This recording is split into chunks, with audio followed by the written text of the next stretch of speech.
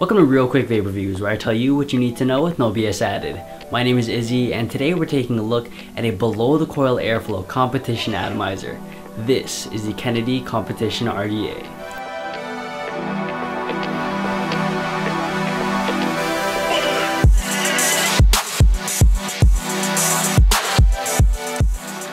The Kennedy RDA started out as a dual coil, dual airhole RDA, but Kennedy Enterprises decided two air holes wasn't enough, so they decided to add two more air holes, one to each side, and thus became the Kennedy Competition RDA, and this is that clone.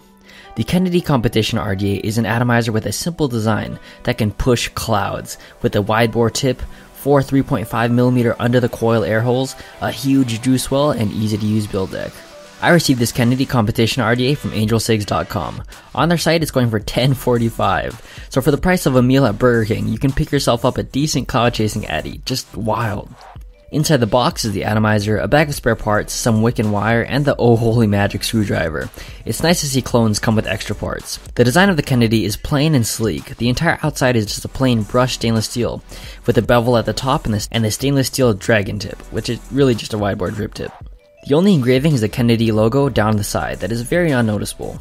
Personally, I like the look. It is 22mm, so it looks great with any 22mm mod. The only thing I wish they would add is some heat fins to the top. The stainless steel is thick though, so it doesn't get hot too fast, but with the addition of fins it'll prevent that even further. The cap is held on by two O-rings and the build quality is good. Up top is the ultra wide bore dragon tip for maximum airflow. Kind of wish it was a little longer though, because I have huge ass lips that touch the cap. But they were going for a subtle wide bore tip, so the length is pretty good. It is comfortable and the spitback hasn't been a problem. There is no 510 tip adapter, so you can't use your own tips, kind of a bummer, but the stock tip works. One weird thing is that the tip's O-ring is inside the cap, not the tip. Does it reduce heat transfer or something? Down below is the four air holes. There are raised cut slots on the bottom that you can see from the side where the air comes from. These slots lead to two 3.5mm air holes on each side. Next to those are the serial number and the USA engravings. The positive is protruding just a tiny bit, so you can use it on hybrid mods, just be extremely careful. Inside we have the standard tri-post with a copper positive, but the deck is what's cool. Those holes on the bottom each lead to a raised pipe. Having the posts and air holes raised introduces a large juice well, and this prevents leaking. The posts are okay, with decently sized post holes. The posts use Phillips head screws and haven't backed out of me yet, but the posts themselves aren't milled into the deck or anything. No spinning yet though, but I'm a little wary. I do like how the positive post is raised above the negatives, making building easy. Just place a coil above the two pipes on each side and you're good to go. Leaking has been a rarity with this. As long as you don't aim your juice right into the pipes, you're good. Now to performance. The airflow on this is wild, but like the Doge V2, that has its pros and cons.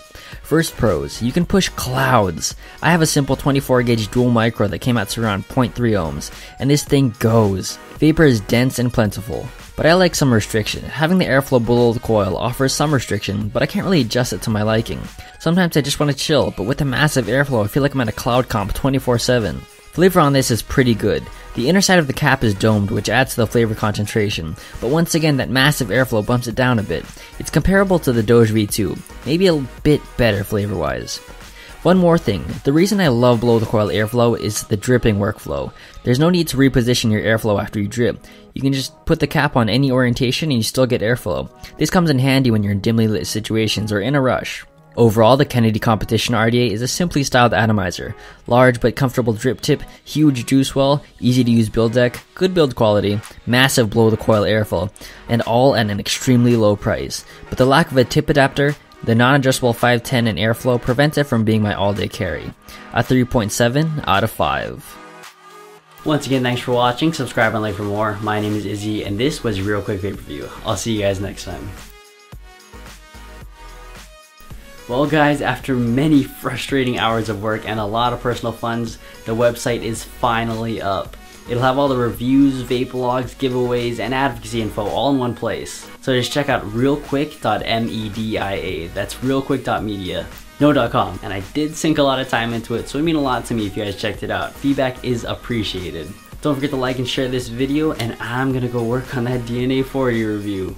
Shoots.